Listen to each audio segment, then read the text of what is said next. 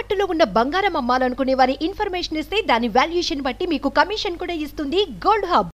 నమస్తే welcome to మనం TV. హనుమకొండలో సాహిత్య అనే అమ్మాయి ఇంటర్ విద్యార్థి. కాలేజ్ భవనం నుంచి దూకి ఆత్మహత్య చేసుకుంది. ఇలా మళ్ళీ మళ్ళీ ఎందుకు జరుగుతున్న ఇలాంటి విషయాల గురించి మనతో మాట్లాడడానికి సీనియర్ అనలిస్ట్ కట్టా కార్తీక్ గారు మనతో ఉన్నారు. నమస్కారం సార్. సార్ ఈ మూడు నెలల కాలంలో ఇది ఇరవై ఐదవది. అంటే ఇంటర్ విద్యార్థులు ఇలా ఆత్మహత్యలు చేసుకుంటున్నారు. అంటే కాలేజ్ యజమాని ప్రాబ్లమా? లేదంటే పేరెంట్స్ ప్రాబ్లమా? లేదంటే గవర్నమెంట్ ప్రాబ్లమా? ఎందువల్ల అంటారు సార్ ఇలా? మళ్ళీ మళ్ళీ జరగడానికి కారణం. ముందుగా ఇది చాలా విచారించదగ్గ విషయం. ప్రాబ్లం ఎక్కడుంది? మూడు నెలల్లో ఇరవై ఐదు మంది. చిన్న విషయం కాదు. వాళ్ళ మీద చాలా ఉప్స్ పెట్టుకొని చాలా ఆశలు పెట్టుకొని తిని తినక వాళ్ళని చదివిస్తున్నటువంటి పేరెంట్స్కి ఇది ఒక పెద్ద శ్లోకం. జీవితాంతం నరకమే. చేతికి ఎదుగొచ్చినటువంటి పిల్లలు చనిపోవటం సరే ప్రాబ్లం ఎక్కడుంది? పెంచే పేరెంట్స్లో ఉందా? చదువు చెప్పే టీచర్స్లో ఉందా? ప్రభుత్వ విధానాల్లో ఉందా? ఎక్కడుందని పరిశీలిస్తే ప్రాబ్లం నేను అనుకోవడం చదువులోనే ఉంది. ఎందుకు అంటే ఇంటర్మీడియట్ వరకు చదివారే. చదువు బతకడానికి కాన్ఫిడెన్స్ కూడా నింపలేకపోయింది ఆ చదువు. పనికి రాని పనికి మాలిన చదువులో వాళ్ళు చదువుకుంది. అంటే మార్కుల కోసం ర్యాంకుల కోసం పరీక్షల కోసం చదువు. అన్నట్టుగా చదువు మారిపోయింది. చదువు జీవితం కోసం జీవనం కోసం జీవనానికి పనికొచ్చే పని కోసం అనేది పోయి ఒక ఎగ్జామ్ రాయకపోతే ప్రపంచంలో ఏదో మిస్ అయిపోయాను ఇక బతకటమే వేస్ట్. ఓ పరీక్షలో ఫెయిల్ అయితే ఇక బతకటమే వేస్ట్ పనికిరాని నేను దేనికి అనే పరిస్థితిలోకి పిల్లగాళ్ళ మైండ్ సెట్ని చదువు తీసుకెళ్తుంటే ఇక ఆ చదువు పనికి అంటే పనికొచ్చి చదువుని ఎలా చెప్పగలం? సార్ ఆ మైండ్ సెట్ రప్పిస్తుంది యజమాని మన- అని అనుకోవచ్చు కదా సార్. అంటే స్కూల్లో చెప్పిందే కదా వాళ్ళు వింటారు. అంటే నువ్వు చదువుకోకపోతే ఇలా అయిపోతావు అని భయపెట్టడం వల్ల కూడా అలా మారిపోతుంటారు. ఇక్కడ రెండు రకాలు. చదువు ఎలా కొనసాగుతుందో చదువును అలా కొనసాగిస్తున్నారో. ఏ చదువును కొనసాగిస్తున్న మేనేజ్మెంట్స్నే కాదు చదువు అంటే కొనసాగుతున్న చదువును కూడా తీర్చి చేయాలిగా పని చ- పని కోసం చదువు జీవితాన్ని నేర్పడం కోసం చదువు విజ్ఞానం ఇవ్వడం కోసం చదువు తప్ప మార్కుల కోసం కాదు. ప్రతిభకి మార్కులు ర్యాంకులు కొలమానాలు కావు. అలా నడిపిస్తున్నారు ఎడ్యుకేషన్ సిస్టమ్ దాన్ని దాని నుంచి మార్చాలి. ఆ దాని నుంచి మార్పు తీసుకొస్తే ఈ చదువు దేనికోసం అనేది ఫస్ట్ బేసిక్ పాయింట్ అర్థం చేసుకోవాలి. మనం చదువుతుంది దేనికోసం? ఇప్పుడు ఒక సినిమాలో డైలాగ్ ఉంటుంది. ఏంటి అంటే క్లాసులో ఫస్ట్ వచ్చినోడు స్కూల్లో టీచర్ అవుతాడు. క్లాసులో లాస్ట్ వచ్చినోడు వెనక బెంచ్లో కూర్చున్నోడు స్కూల్ పెడతాడు. స్కూల్కి యజమాని అవుతాడు. ఉమ్. అంటే అతనేమో పది మందికి ఉపాధి కల్పించే వాళ్ళకి తయారవుతాడు. సమాజాన్ని నేర్చుకుంటాడు. వీళ్ళు కేవలం పుస్తకాలకి ర్యాంకులకి పరిమితం అయ్యి స్కూల్లో టీచర్ ఉద్యోగానికి అప్లై చేసుకొని ఉద్యోగం చేస్తాడు. ట్రూ నిజం. అది. ఇప్పుడు చాలామంది స్టూడెంట్స్ చూడండి వాడు సాఫ్ట్వేరు తోపు పొడుంగి మ్యాథమెటిక్స్ బాగా చేయగలడు కానీ అమీర్పేట రోడ్లో సెంటర్లో వదిలేస్తే ఇంటికి తిరిగి రాలేడు. ఓ కూరగాయల మార్కెట్లో వదిలేస్తే మంచి కూరగాయ మంచి టమాటాలు ఒక కేజీ తీసుకురామంటే తీసుకురాలేడు. ఏ దోర టమాటానో ఏది పండి టమాటానో తెలియదు వాడికి. ఒక బార్గెనింగ్ చేయలేడు ఒక ఇష్యూని. మళ్ళీ చదువుల్లో ఫస్ట్ ర్యాంకర్ కావచ్చు తోపు కావచ్చు. రెండోది ఒక బీకామ్ కంప్యూటర్స్ చేసినవాడు బ్యాంక్ బై డీడీ తీరాడు. అంటే అలాంటి పరిస్థితుల్లో చదువులు ఉన్నాయి. అదే పేరెంట్స్ ఆలోచనలో కూడా చదువులంటే రుద్దాలి చదివించాలి మార్కులు రావాలి. మార్కులు వస్తే బాగా చదువుతున్నట్టు మార్కులు రాకపోతే బాగా చదివినట్టు. అమ్మ మీరు అర్థం చేసుకోవాల్సింది ఇవాళ దేశవ్యాప్తంగా మనం వింటున్న తింటున్న పుల్లారెడ్డి స్పీడ్స్ యజమాని పుల్లారెడ్డి గారు ఏం చదివారు ఆయన టెన్త్ క్లాస్ ఫెయిల్ అమ్మా. మనం క్రికెట్ని బాగా వాచ్ చేస్తుంటాం కదా చాలామంది వాచ్ చేస్తుంటారు యంగర్స్.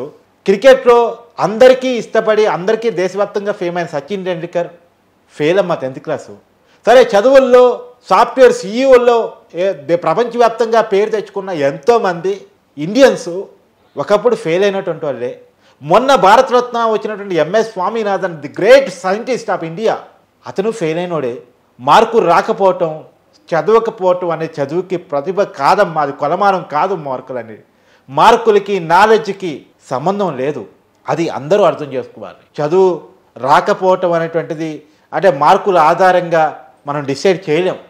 ర్యాంకుల ఆధారంగా మనం డిసైడ్ చేయలేం.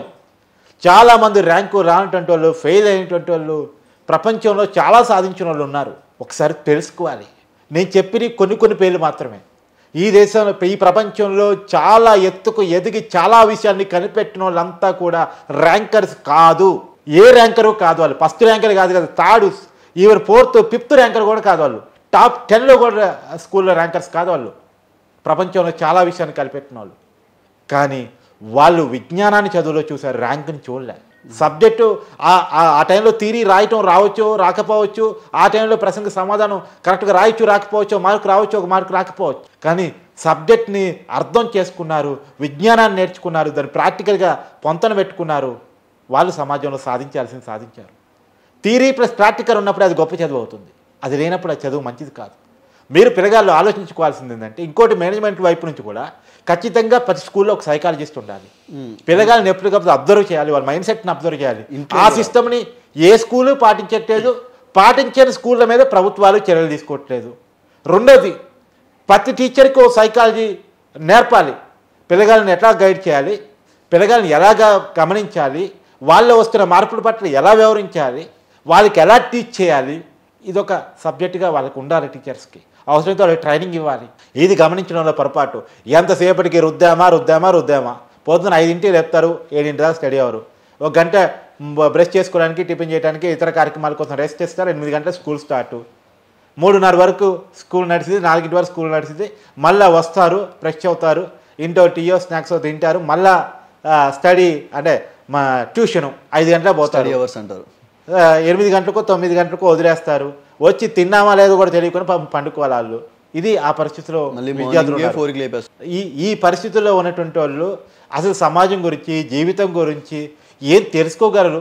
నాలెడ్జ్ వాళ్ళకు ఉంటుంది. బయటకు పోయి సమాజంలో ఏం జరుగుతుందో తెలుసుకునే పరిస్థితులు ఎట్టుంటారు? రేపటి ఇప్పుడు ఎగ్జాంపుల్ మన దేశ ప్రధాని మోడీ గారి గురించి చెప్పుకుందాం. ఆయన విద్యార్థుల మీద చాలా కామెంట్స్ ఉన్నాయి చాలా వివాదాలు ఉన్నాయి. ఆయనకు ఉందా లేదా ఏదో డిగ్రీ అనేటువంటిది. కానీ ఆయన ఎంత గొప్ప పరిపాలకుడిగా పేరు తెచ్చుకున్నాడు? ఇవాళ పరిపాలకుడిగా మంచి పేరు ఇంటర్నేషనల్గా తెచ్చుకున్నాడు కదా మోడీ గొప్ప ప్రధాని. అంతే అని ఇంటర్నేషనల్గా అనిపించుకోగలుగుతున్నాడు కదా. ఏం చదువుకుంటే అనిపించుకోగలిగాడు? ఆయన డిగ్రీ ఉందా లేదా పక్కన పెట్టండి. అది మనం అర్థం చేసుకోవాల్సింది.